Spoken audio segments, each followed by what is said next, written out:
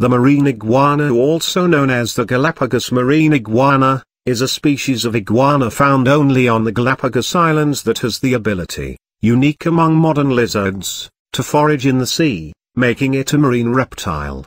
This iguana feeds almost exclusively on algae and large males dive to find this food source, while females and smaller males feed during low tide in the intertidal zone.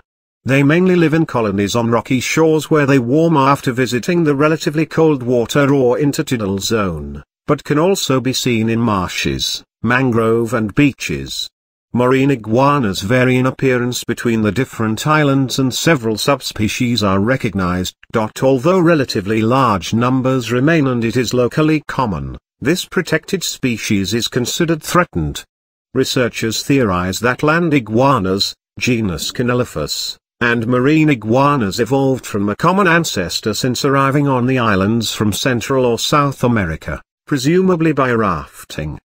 The land and marine iguanas of the Galapagos form a clade, and the nearest relative of this Galapagos clade are the ctenosaural iguanas of Mexico and Central America.